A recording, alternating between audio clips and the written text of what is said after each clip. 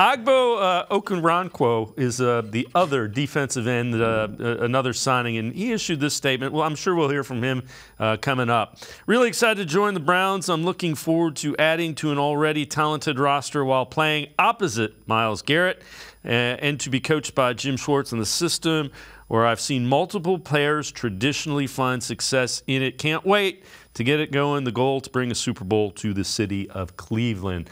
And um, again, the thing I like about Okoronkwo, he is an ascending player, a young guy um, that's going to get the opportunity to, to play more than he has in the past as well.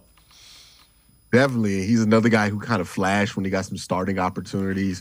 Um, you're hoping, again, that hey, the coaching of Jim Schwartz elevates some guys to a better level um, and that the position that he's going to put them in, that he knows how to use them in a certain position to use them well.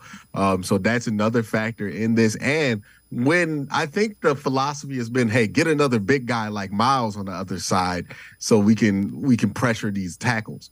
What we're realizing with Myles Garrett is that Myles Garrett is so good at getting pressures that these quarterbacks are going to flush before he even gets there sometimes. And when that happens, you need somebody more athletic on the edge um, because that person is going to be able to chase that down and hold contain a little bit better than somebody who's able to penetrate just as well as Myles. So with Clowney, I think one of the big problems was that he didn't he he can't bend and burst with athleticism in that pocket, that small pocket area. He's a great accelerator, but he's not somebody who could burst um, in short areas. And I think that really affected his ability to clean up from the pressures that Myles Garrett was creating. So maybe if you have guys in there who are a little bit smaller, more athletic, a little bit more agile, when Myles makes these quarterbacks flush away from him, they're able to make that play.